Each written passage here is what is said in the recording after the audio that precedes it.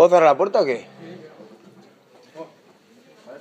Que llegue tarde le haremos hacer 10 flexiones, ¿vale no?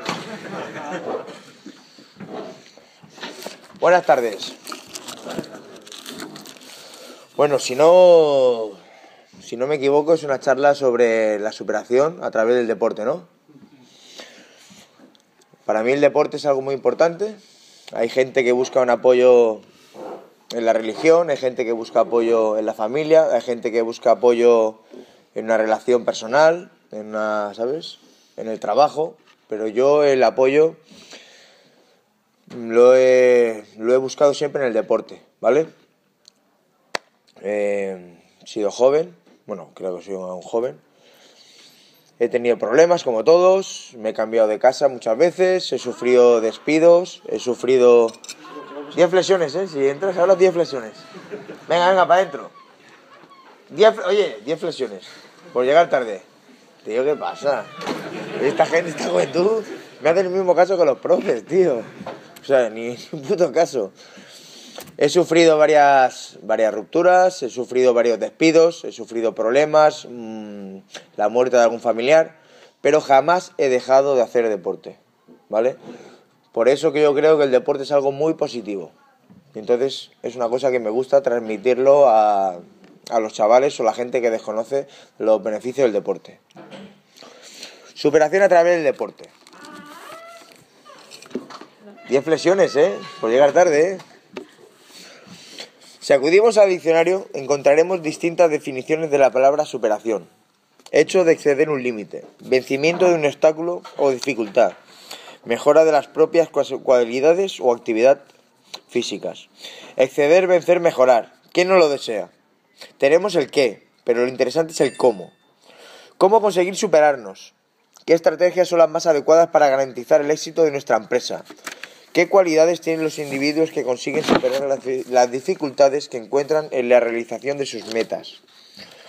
Educadores, entrenadores y psicólogos han llegado a la conclusión de que los individuos con más constancia, motivación, autocontrol, compromiso y capacidad de soportar frustraciones tienen más posibilidades de conseguir los objetivos. Desde un punto de vista ético, es complicado observar si alguien es mejor persona, pero desde la práctica deportiva es diferente. Podemos comprobar y cuantificar la mejoría. Los resultados están ahí. Y aprender a resolver problemas en el deporte, puede ayudar a gestionar conflictos cotidianos en la vida privada. Antes hablé de la capacidad de soportar frustraciones como una característica fundamental para la superación. Eh, es muy importante la resiliencia, ¿vale?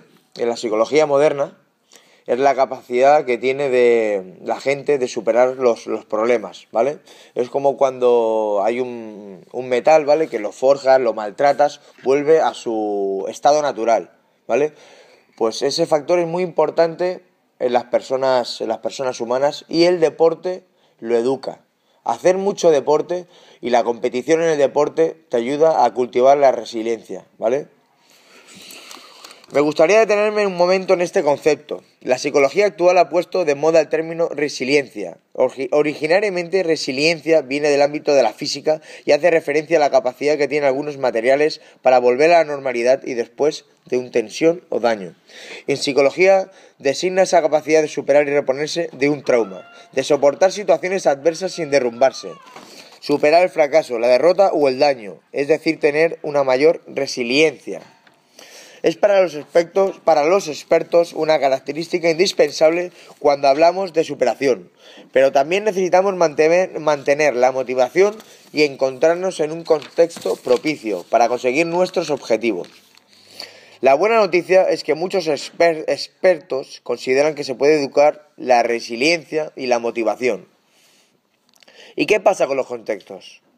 Pues también se puede generar contextos inteligentes que faciliten el desarrollo, de las personas. Luego hablaremos de estos contextos.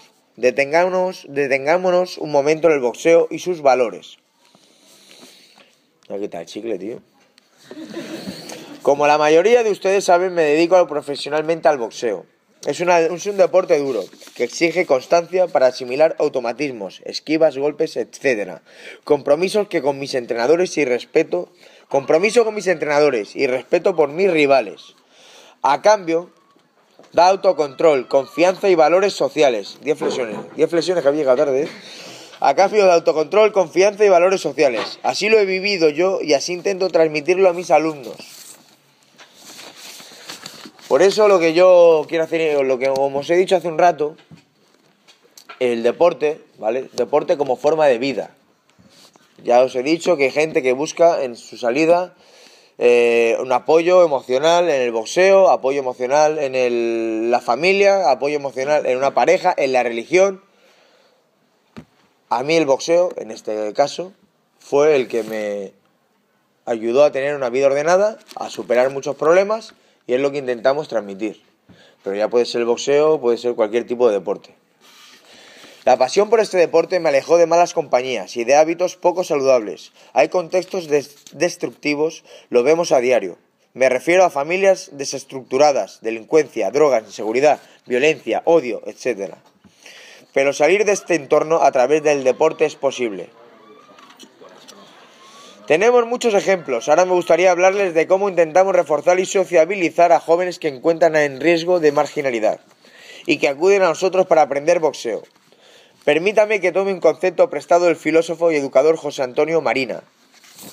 La inteligencia, ejecutiva es la capacidad de dirigir bien el comportamiento, elaborar proyectos y organizar la acción para realizarlos. Hay mucha gente inteligente, ¿vale? Hay mucha gente capaz, pero hay poca gente que actúa, ¿vale? Esto, a esto se le llama la inteligencia ejecutiva, ¿vale?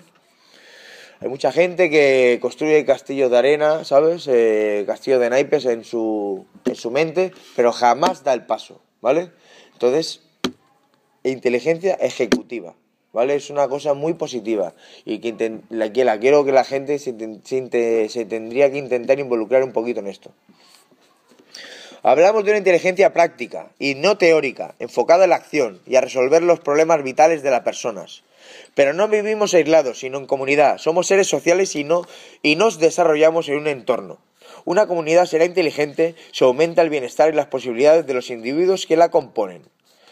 Por este motivo, desde Chatarras Palas intentamos generar entornos positivos, contextos que ayuden a solucionar problemas vitales. Explicarle a un niño hiperactivo qué es la hiperactividad está muy bien, pero eso no le llevará a solucionar su problema. En algunos casos, incluso puede estigmatizarlo. Así ocurre con algunos chicos que vienen de familias desestructuradas y que encuentran en la violencia su modo de expresión. Nosotros proponemos hacerlos partícipes de una comunidad que les escucha, les respeta y busca proporcionarles instrumentos para analizar sus pensamientos negativos.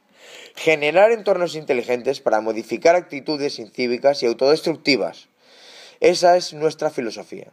La mayoría de los chicos llaman a nuestra puerta, atraídos por la posibilidad de aprender boxeo, pero también movidos por un sentimiento de pertenencia a una comunidad se identifican con los valores que transmitimos y que han conocido, gracias a nuestra repercusión en los medios de comunicación y redes sociales. Tratamos de inculcarles el esfuerzo, la autodisciplina, el respeto a los demás y a los animales, también de educarles en las recompensas a lo largo plazo y en la importancia de superar los fracasos.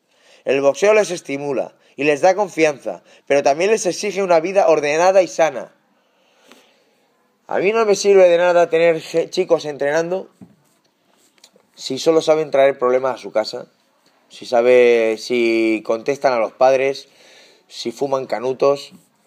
No es más importante el buen deportista, sino que la mejor persona. Nosotros en el proyecto Chatarras Palas no nos sirve de nada un tío que sea un hacha compitiendo si no lleva una vida sana y ordenada. No buscamos grandes deportistas, sino mejores personas. Yo les hablo de mi experiencia vital y de los errores que he cometido y de cómo gracias al boxeo y a personas que en su momento confiaron en mí, yo he reconducido mi vida. Yo he tenido esa oportunidad y quiero que ellos la tengan. Chataras Palas es un gimnasio, sí, pero también una pequeña comunidad. No pretendemos suplantar a la familia, ni al centro educativo, aunque aportamos nuestro granito de arena. Y así nos lo han reconocido profesores y padres, y nuestro compromiso empieza por facilitarles el acceso. Las clases de boxeo son gratuitas, pero se exige civismo, compañerismo y respeto. Todo proyecto es una mirada al futuro, pero también arrastra una historia. Nuestro origen no ha estado exento de polémica. Los medios de comunicación han dado cuenta de ello. Todo empezó como un juego, simple entretenimiento, deportivo, en una chatarrería. Los vídeos de esos combates tuvieron una gran seguimiento en sus redes, una gran repercusión y seguimiento en las redes sociales y muchas visualizaciones. Algunos nos etiquetaron de pésimos imitadores del Club de la Lucha o, o movimiento underground. Hubo muchas especulaciones y nos criticaron injustamente. Entonces fuimos conscientes de que muchos jóvenes nos seguían y hicimos un acto de responsabilidad. Debíamos aprovechar este foco de atención de una forma constructiva, colaborando en acciones sociales y transmitiendo unos valores que de ningún modo quedaban reflejados en los vídeos. Es conocida nuestra labor por la defensa de los animales o nuestra lucha contra todo tipo de abuso. Los inicios nuestros eh, yo decidí alquilar un local para seguir con mi carrera de boxeador, montarme un gimnasio cerca de mi negocio y por coherencia permití que los chicos que no podían permitirse un gimnasio pudieran usarlo. Hay gente que me pregunta, ¿y eso y por qué? Y yo les digo, ¿y por qué no? En Barcelona, no sé si aquí pasará, hay zona azul.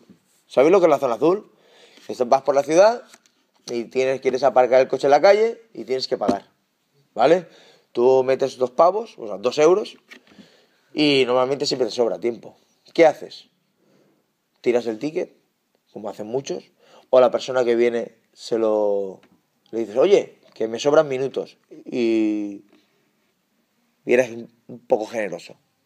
Pues si tenemos un gimnasio, si tenemos la posibilidad de tener un gimnasio y hacer deporte, que nos sienta bien hacer deporte, ¿por qué no compartirlo con los demás? ¿Por qué no? Por coherencia permití que los chicos que no podían permitirse un gimnasio pudieran usarlo. Las instalaciones estaban hechas para mi uso personal y creí y sigo creyendo que no cuesta nada compartir. Mi entrenador, muy cualificado y con una dilatada experiencia, empezó a darles clases para que aprendieran correctamente, que es la mejor forma de evitar daños y lesiones. Finalmente, el Chatarras Palas se convirtió en un centro educativo, a través del deporte, con una función social clara ayudar a jóvenes sin recursos y en riesgo de acabar delinquiendo. La venta de camisetas y productos relacionados nos sirve para costear una parte del mantenimiento, aunque yo siempre lo acabo regalando todo. Hemos crecido y seguimos creciendo, y cada vez notamos más apoyo de vecinos y conciudadanos, pero nuestra lucha es diaria, porque las dificultades no entienden de treguas. Por ello, con una mayor implicación de instituciones públicas y privadas, podremos generar un contexto inteligente más amplio, que permita a nuestra pequeña comunidad gestionar recursos y ayudar a nuestros jóvenes desarrollen comportamientos más cívicos y saludables. Implicación y recursos no significan necesariamente dinero. Hacer conferencias en el gimnasio o facilitar la inserción laboral con puestos no estigmatizadores ayudarían mucho en la labor social. No olvidemos que los valores cívicos es responsabilidad de todos y una sociedad que una sociedad y una sociedad que funciona es una sociedad de la que todos nos beneficiamos. Superarse en un entorno favorecedor es un poquito más sencillo. Así lo creemos y así intento explicárselo a ustedes. Trabajar la motivación, educar la resiliencia y generar contextos e inteligencias en nuestra apuesta por la superación. En los en los centros de menores, a los chicos jóvenes, cuando yo estoy en un centro de menores, ¿vale? Por eso, bueno, creo que sé de lo que hablo. Les enseñan en jardinería, luego les ponen un mono verde y los ponen ahí en la autopista a cortar setos. En verdad lo están marginando. ¿Qué creo? ¿Qué creemos nosotros? Creemos que la educación Creemos que la juventud hay que enamorarla para educarla. Entonces, a los chavales jóvenes de barrios marginales eh, les mola el rollo de la lucha. Su manera de expresión, por falta de cultura, su manera de expresión es a veces un poco violenta. Entonces, eh, ser luchador mola. Entonces, los enganchamos con el tema del deporte, con el tema de la lucha, pero para seguir entrenando tienen que seguir llevando una vida ordenada, tienen que ser respetuosos, tienen que hacer buenas acciones, tienen que ser buenos compañeros y creemos que es algo bastante positivo. Eso les ayuda a superarse en sus problemas físicos. en sus problemas psíquicos y en sus frustraciones. Eh, cuando se cuando se practica el deporte se segregan endorfinas similares a antidepresivos y creo que es algo muy positivo y creo que es una manera de superar los problemas. Por eso creo que es muy importante el deporte para superar cualquier tipo de problemas.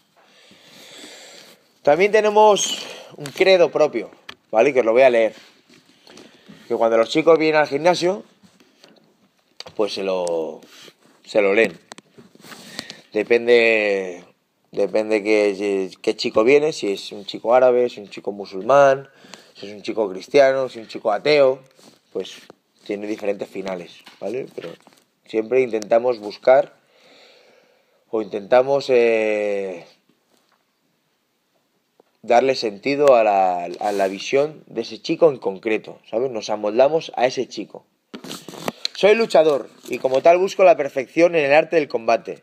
La vida es una lucha constante en la cual no siempre se obtiene la victoria, pero si puedo conseguir un espíritu lleno de satisfacción, trabajando y sacrificándome con todas mis ganas, siendo sincero y honrado conmigo mismo y mis semejantes, trabajaré mi fortaleza, mi velocidad, mi técnica, mi valor, mi responsabilidad, mi respeto y mi disciplina, para que mi mujer, mis padres y yo mismo se sientan honrados y protegidos. La fortaleza me hará ser más humilde, negarme a los abusos sean hacia personas u animales. Me alejaré de todo lo que enturbie mi vida y lucha como forma de vida. Si hay un chico que es muy creyente, le, leemos el credo con la ayuda de Dios. Si es un chico árabe, con la ayuda de Alá. Si es un chico ateo, le decimos que se entrene, que si no vendrán los zombies, ¿sabes? Pero que los chavales se motiven. Eh, y bueno, no sé, si alguien tiene alguna pregunta.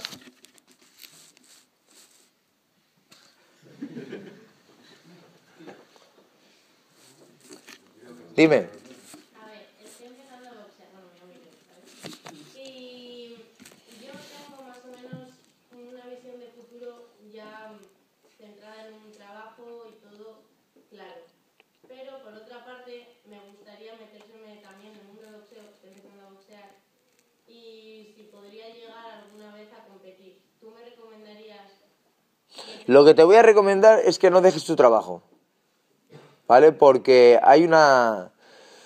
En los deportes de contacto hay una lacra muy extendida. Es que los ex luchadores se ven con 38 años. Mira, cuando tú tienes... ¿Qué edad tienes? Vale. Cuando no pasas de los 20 años y eres luchadora, mola. Pero cuando tienes más de 30 años y eres luchadora, eres un acero a la izquierda. Porque no tienes ni oficio ni beneficio. Es muy importante elaborarse un futuro. Y tienes que intentar compaginarlo. Tu pasión con tu carrera. Es muy importante. O sea, no puedes, no puedes centrarte solo en una cosa. El deporte te puede ayudar en muchísimas cosas.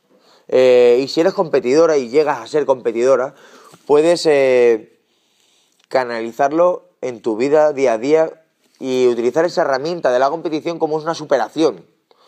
Eh, ahora voy a, ahora vienen exámenes y te lo planteas como un combate. Ahora vienen exámenes y voy a estudiar un montón y como si fuera una competición. Pero es muy importante, creo yo, desde mi punto de vista, ya que me lo ya que me lo has preguntado, que no dejes de estudiar ni la carrera, ni labrarte un futuro. Porque un deporte de contacto es un hobby. Que no te vendan la moto, que es una forma de vida. Es un hobby. Y como hobby no puedes vivir de él.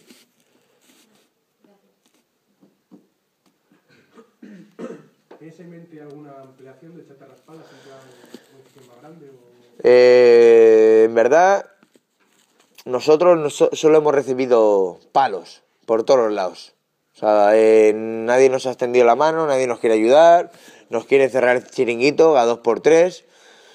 Pero eh, muchos chicos de los que vienen a entrenar mm, tienen un seguimiento de los asistentes sociales y ven los asistentes sociales, se informan por lo que hacemos, les mola un puñado. Pero lo bonito, no, a lo mejor es una utopía, ¿no? Pero lo bonito sería que un ayuntamiento cediera una nave entera, nos pusieran literas, nos pusieran eh, cocineros, nos pusieran educadores, nos pusieran asistentes sociales, psicólogos, y que hubiera ahí 600, 700 chavales 24 horas, haciendo, obviamente nosotros nos ocuparíamos del lado del deporte, y luego estaría la, la, labor de los educadores, la labor de los psicólogos, pero sería, yo creo, una manera, en vez de estar los chavales en la calle, fumando canutos, o discutiendo con su, o discuten con su padre, se cabrean con el padre, eh, podría ser como un sitio para evadirse, ¿no? Entonces, eso sería como un, proyecto que nos gustaría realizar, tener una nave pero no, no tiene que ser gente, gente marginal, ni mucho menos. Aquí, o sea, en, el, en nuestro gimnasio va gente de todo tipo. Van empresarios, van ninis, van delincuentes. Gente, 10 flexiones, 10 flexiones. Esto, esto sí que es buena gente, que hacen caso, coño. Venga, ¿qué pasa?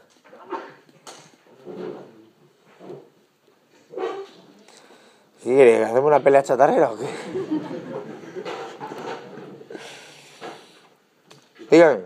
¿Qué valores ha dado el boxeo que o sea, habéis desarrollado a través del boxeo que no tenías antes? No me he enterado, dime. ¿Qué valores habéis habéis desarrollado a través del boxeo que tú te das cuenta que no tenías antes? Eh, cuando yo me apunté a un gimnasio de deportes de contacto,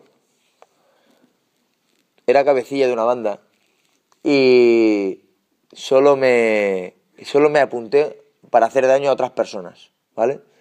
¿Qué pasa?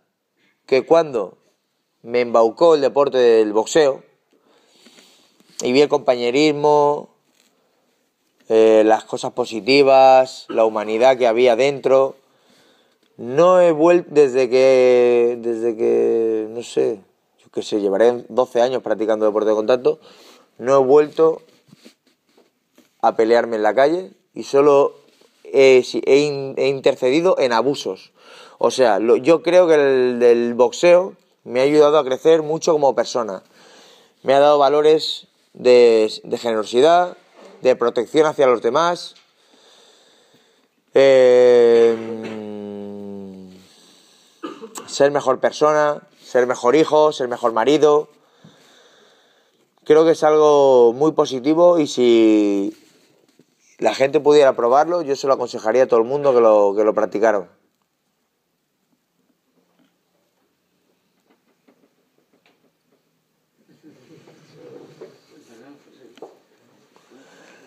Vaya niños, tío. Dime.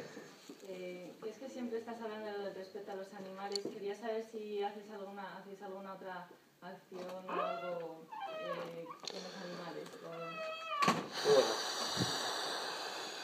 o- No sé qué, no sé, o sea, no tengo palabras para explicar el amor que pueden dar los animales. O sea, yo creo que las personas, pobre, pobrecitas ellas, las que no han disfrutado del amor de un animal, pobrecitas ellas, porque son ángeles de cuatro patas. Te reciben con toda la alegría del mundo, les echa la bronca y te siguen recibiendo con toda la alegría del mundo, les hablas mal, les miras mal y te siguen tratando con toda la alegría del mundo, es lo mejor que hay. Es lo mejor que hay. Y sí, y eh, actúo diariamente en contra del maltrato animal.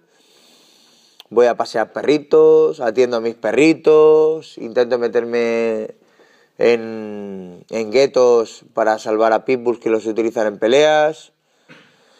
Luego los sociabilizo, lo que se puede.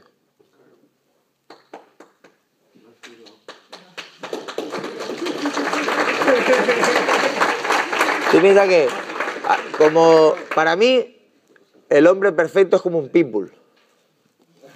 Cariñoso, fiel y fuerte. Yo tengo fuerza y cariñoso. No soy como un pitbull.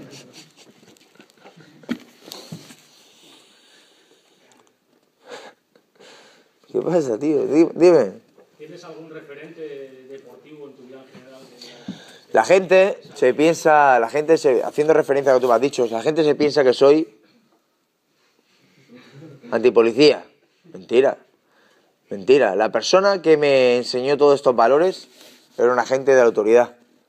Primero era, fue, era edu- educador, se llama José Moreno. Primero era educador social. Después hizo agente de la, de la de los Mossos de Escuadra, de mis amigos, ¿sabes?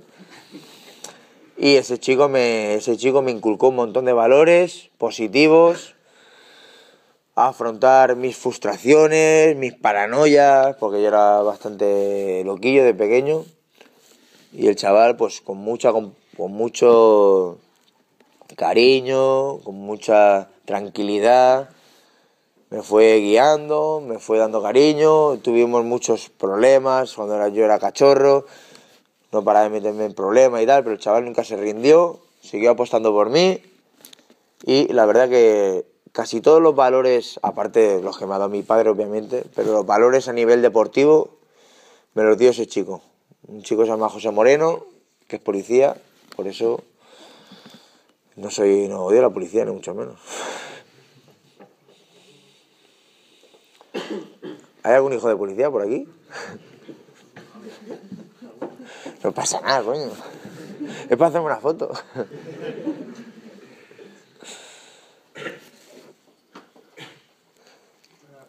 ¿Cómo conjugas eh, entrenar con el, tra- con el trabajo de chatarrería? Un- La verdad,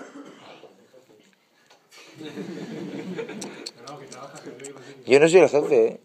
Yo no soy el jefe. Me dice que tienes una chatarrería. La jefa es mi vieja y menuda jefa es. ¿Sabes? Que me mete caña que flipa, ¿sabes? Ella es la primera que quiere que deje el boxeo. O sea, así te lo digo. O sea, es la primera que quiere que deje el boxeo.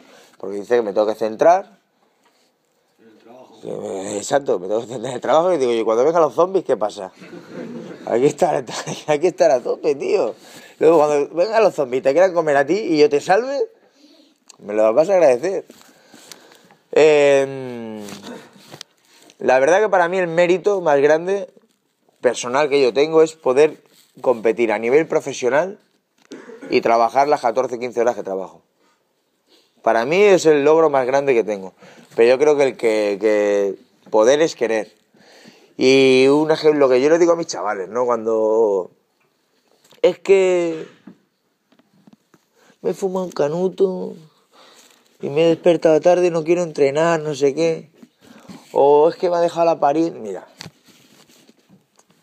me acuerdo yo que mi padre estaba en el lecho de muerte a las 6 de la mañana. A las seis y media falleció y yo a las 7 ya estaba trabajando. Y después de, a- de trabajar fui a entrenar. Entonces, si yo pude hacer esas cosas, si yo puedo, puedo superar a través del deporte todos esos problemas, pues, ¿quién no va a poder? Entonces, si te doy la mano, pues utilizas la otra. Si te doy las dos manos, utiliza las piernas. Si te doy las piernas, te arrastras. Pero no hay que dejar de entrenar. Eso es mi manera de ver la superación a través del deporte.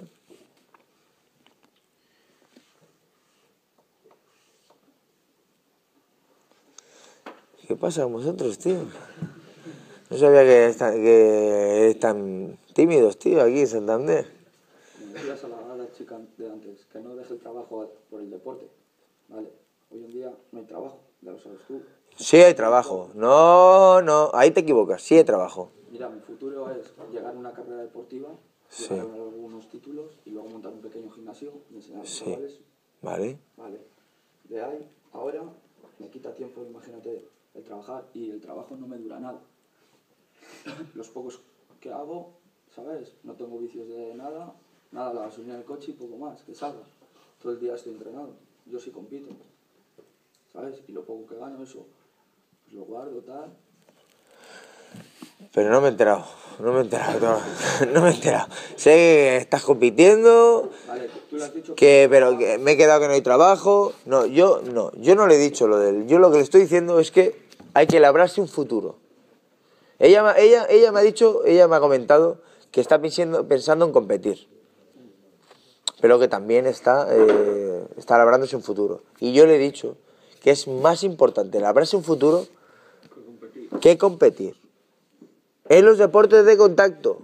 Oye, si eres futbolista, compite, coño, que vas a ganar más pasta, ¿sabes? O tenista, pero en los deportes de contacto vas a acabar sin oficio ni beneficio, súper golpeado, medio loco, y, luego encima no te van a querer, no te quieren ni el tato. Por eso te digo que con 20 años eres boxeador y eres un chulo, y con 30 años eres boxeador y eres un desgraciado. Hablando en plata. ¿Qué más? Dime, que no me entero lo que me has dicho. Y creo que sí hay trabajo. Y creo que sí hay trabajo. Por mucha crisis que hay, lo que pasa es que no hay ganas de trabajar. Así, ¿vale? Y creo que la juventud os estigmatizáis y abusáis del por no haberme tenido con los padres, ¿sabes? Ah, por no haberme tenido, no. Por no haberme tenido, no. Dame la, por no haberme tenido, no. Por haberme tenido, no, coño. Hay trabajo, ¿eh? Pero hay que salir a buscarlo. Sí hay trabajo, sí hay trabajo. Pues, Que sí hay trabajo. Que sí trabajo, coño. Yo conozco mucha gente joven que deja un trabajo, que deja un trabajo y, y, otro trabajo, pero a lo mejor cobra una mierda, pero trabaja. A lo mejor, a mí, yo a, mí, a mí también me gustaría, a mí también me gustaría, es que no me valoran, no me pagan lo que me merezco. Bueno, y, pero es que hay que pensar una cosa también. A vuestra edad, a vuestra edad, tampoco tenéis una experiencia muy dilatada para poder ofrecer en los trabajos o en las empresas. Entonces, lo que os toca ahora es comeros todos los marrones de la empresa, porque es lo que hay. Porque sois jóvenes. Es que es lo que hay. Y pensar, bueno, pues ahora trago, ahora trago, ahora trago, pero ya vendrán tiempos mejores. Ya cogeré experiencia. Si no me como esta mierda, no cogeré experiencia. Pienso yo, ¿eh? Que a lo mejor estoy, equivo- estoy equivocado. Hacer esto de chatarra ¿te imaginabas llegar a 120.000 seguidores y la repercusión que tiene? Lo de chatarras palas, en verdad me suda los huevos, ¿vale? Pero, y la página y todo, la verdad que eso hasta la polla. Es verdad, es verdad.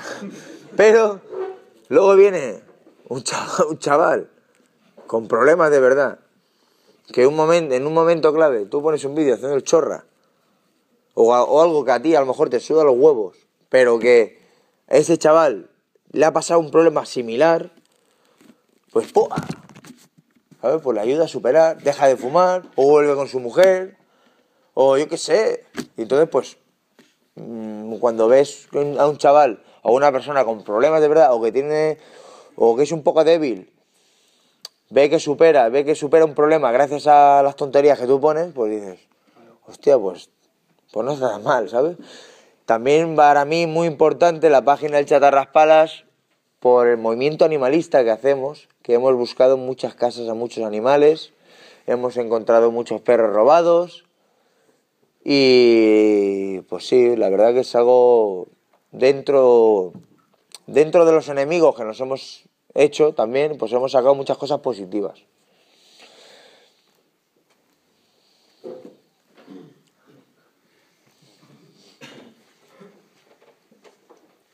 ¿Qué te iba a decir? Eh, eh, he visto algún vídeo en internet que al gimnasio por la mañana le tienes a tope.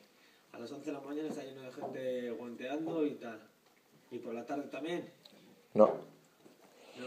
Solo abro el gimnasio, mi sala solo la, solo la abro por la mañana. ¿Por qué? Porque lo normal es trabajar y estudiar. Lo normal es trabajar y estudiar. Y el que no trabaja ni estudia, bien que venga al gimnasio. Y que venga a las 9 de la mañana. No, hombre, no. Tú dejar que te tires hasta las 3 de la mañana fumando canutos. Te levantas a las 2 del mediodía, le dejas la- tu casa, la habitación a tu madre hecha como los zorros, como los cristos, y luego te vengas al gimnasio. No, que me voy a entrenar, ¿no? Pues hay que madrugar. Entrenas a de 9 a 11 y ya tienes todo el día por delante. ¿No? Claro. Y la fundación esta de chatarras que lo estás haciendo por toda España. Las charlas de esto. No, es la primera charla, veo. Soy los más locos, tío. soy los más, soy los más zumbados, tío. Dime. ¿Tienes pensado pelear cerca de aquí?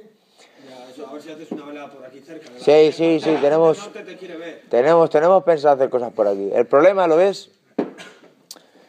Sopa y teta no se puede tener en la vida. Y yo, si trabajo 14 horas, no puedo entrenar mucho, ¿vale? Ahora estoy eh, a expensas de curarnos unas cosillas que tenemos, unos problemas físicos, ¿sabes? Y intentaremos ponernos fuertes y ahí vamos a intentar ir por ir para arriba, para abajo, ir por España y venir por el norte, hacer combates y que la gente pues pueda ver un combate de verdad, ¿sabes? ¿Por qué? Porque a lo mejor no ganamos, pero lo que sí nos vamos a entregar en cuerpo y alma para el combate, ¿vale? Otra cosa no hacemos, pero espectáculo está asegurado, ¿vale? Con los chatarreros en medio por en medio, espectáculo asegurado. Dime. Yo quería comentarte, habría que tener no solo cuidado, sino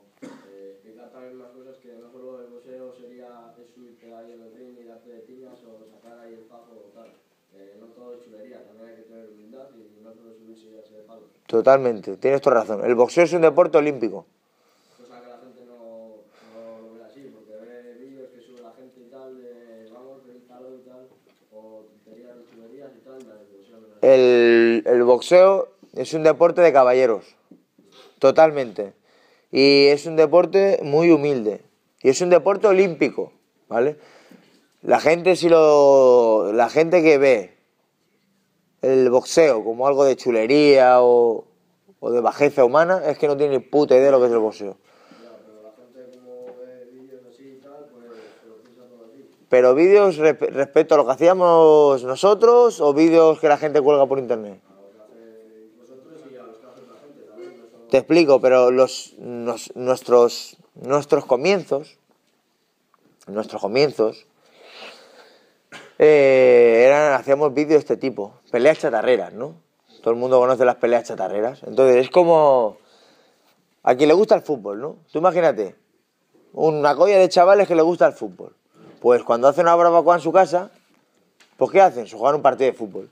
Pues nosotros, como nos gustaba el boxeo, o darnos de hostias más bien, en nuestros lugares de trabajo, pues nos juntábamos y nos pegábamos de hostias. Pero no era boxeo, no es boxeo, nos pegamos de hostias, ¿vale? ¿Qué pasa? Que vemos que la gente empieza a confundirlo con el boxeo y que vemos que nos sigue la juventud. Pues eh, sacrificamos nuestra diversión personal, porque era muy divertido, y montamos un gimnasio. Hacemos un acto de una responsabilidad moral y social con la juventud. Ya no hacemos las peleas chatarreras, solo bajo, bajo petición. Si viene alguien a grabar una peli o alguna mierda de estas, ¿sabes? Pues montamos una pelea rápida, pues a todo el mundo le mola las peleas chatarreras, tío. Estoy en la chatarrería y digo, ¿quién quiere pelear? Yo, yo, yo. Pero no es boxeo, no es boxeo. Yo jamás, jamás... Pero que si yo lo entiendo, que esto es un deporte humilde y yo sé que tú eres el primero humilde, pero hay otra gente que no lo ve así. Ya, pero es que... Tú no puedes, tú no... Es, es muy difícil, es muy difícil que todo el mundo tenga tu mentalidad, o sea, ni... O que tú... No sé cómo decir, no sé cómo explicártelo, o sea, tú... La, la gente tiene mentalidad libre, o sea, eh, es imposible que le bien a todo el mundo, es imposible que todo el mundo piense, le gusta el Barça como a mí, ¿sabes? Es imposible, ¿sabes? O sea, cada uno... Tú puedes entender muy bien los valores del boxeo y lo bonito que es el boxeo, y lo, lo- las cosas positivas que tiene, la humildad que tiene en él, pero hay gente que no, hay gente que no, lo- no le va a valorar. Hay gente que le gustan los toros y yo los, los odio. Eso es lo que tiene el- así la mentalidad de las personas, tío. Tú cuando empezaste con las peleas chatarreras no estabas intentando captar para luego pasar al chatarraspalas, eso ha surgido después. Eso surgió, eso surgió totalmente después. Totalmente después. O sea, yo soy humano, tengo mis fallos como todos. Entonces, ¿qué pasa? Muere mi padre, me pongo a trabajar en la chatarrería, me pongo a ser honrado, me pongo a trabajar de sol a sol, currando la chatarrería, pero sigo siendo joven y sigo siendo un poco cabra loca. Y me aburro, me aburro, me aburro, tantas horas trabajando, que a la hora de plegar hacíamos las peleas chatarreras. Y le vamos pillando el gusto. Y hoy seguimos haciendo peleas chatarreras. La colgamos por internet. Hola, a la gente le mola. Qué risa. Nos partimos la caja. Otra vez, más risa. Más partidas de caja. Y cada vez más gente. Y cuando yo veo que vienen adolescentes, demasiados adolescentes, pues cortamos. Cortamos porque tenemos que dar buen ejemplo. Pero eso que era que tú estabas ahí y yo, si pasaba por allá, llamaba a la puerta y entraba. No eran amigos tuyos ni nada, la gente que iba a verlo. La mayoría. Un poquito, amigos, gente de la calle. ¿Y yo qué hacía? Pues el que demostraba tener valor y coraje, yo le pagaba por pelear.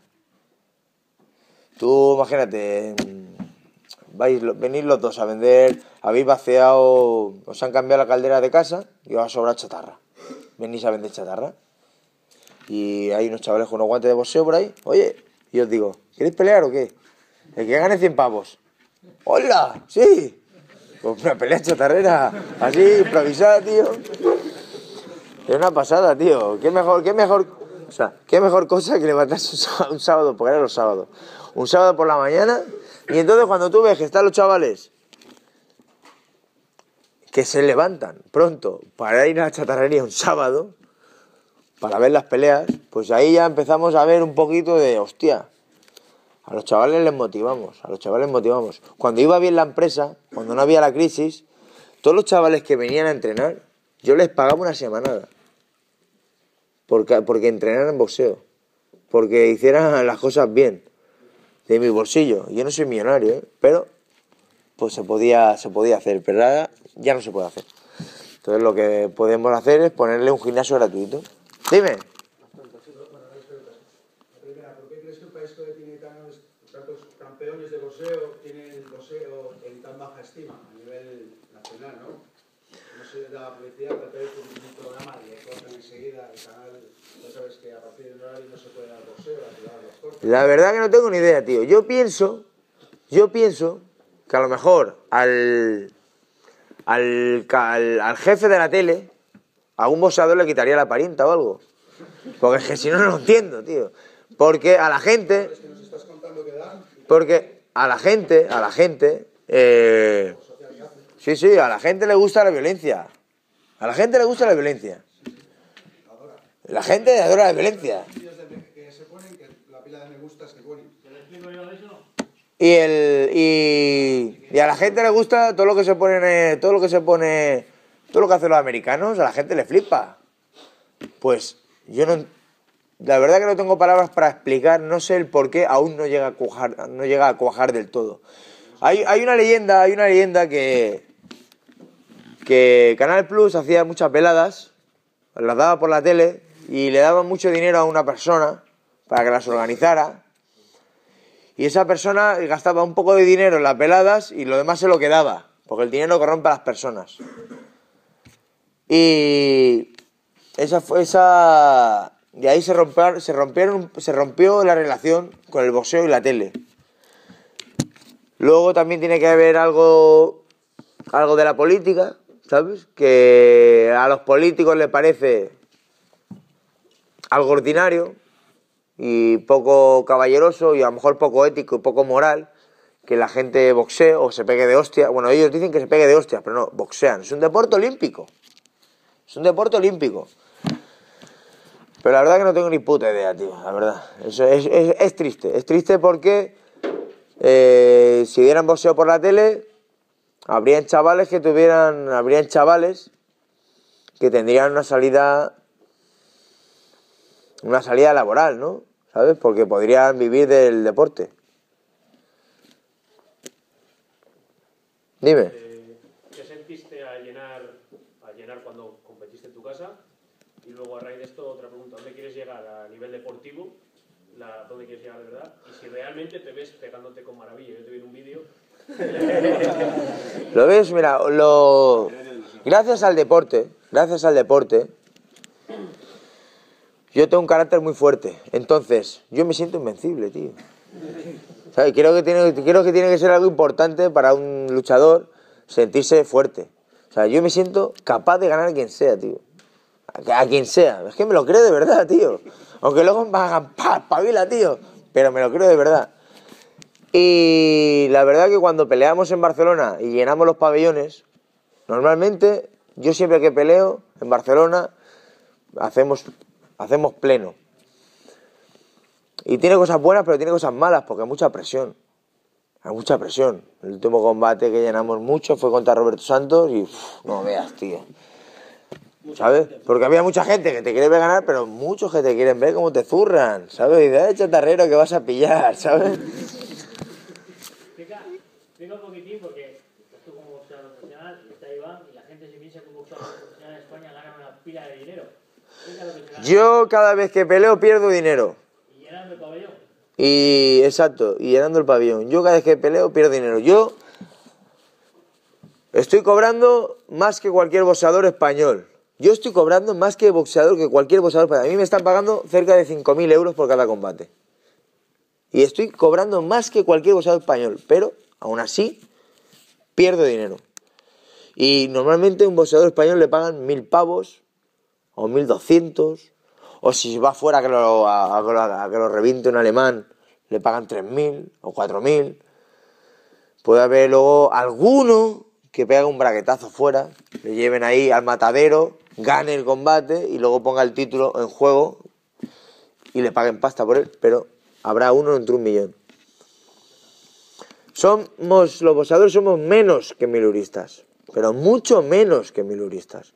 Tú piensas que para que un boxeador no se quede loco, yo qué sé, tendrá que hacer tres o cuatro combates al año, a lo mucho. Ganando un talego o talego y medio por combate, somos mucho menos que miluristas. Y claro, que te quitan el 30%, ¿no? Exacto, bueno, y luego te quitan el 30%, el 20% y todo. Yo, mira, imagínate, o sea, yo para pelear tengo que hacer, eh, pago preparadores físicos, pago ayudas, proteínas, dieta, tal, no sé qué.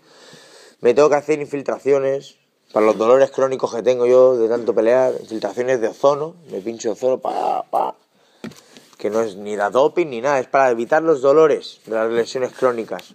Y a lo mejor cada tratamiento me cuesta 1.200 euros. Y si, si es lo que me pagan. ¿Sabes? Ahora con el rollo del chatarrero me, está- me pillo más pasta por los combates.